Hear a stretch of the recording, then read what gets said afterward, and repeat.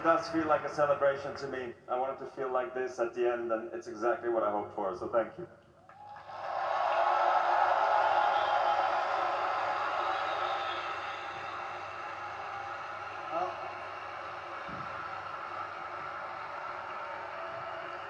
It's been an amazing ride. It's been incredible to watch this journey that you've been on. It started as a boy playing tennis. You turned into a junior champion, then a world champion, and then you became a sporting icon. What has that journey been like for you? It was never supposed to be that way.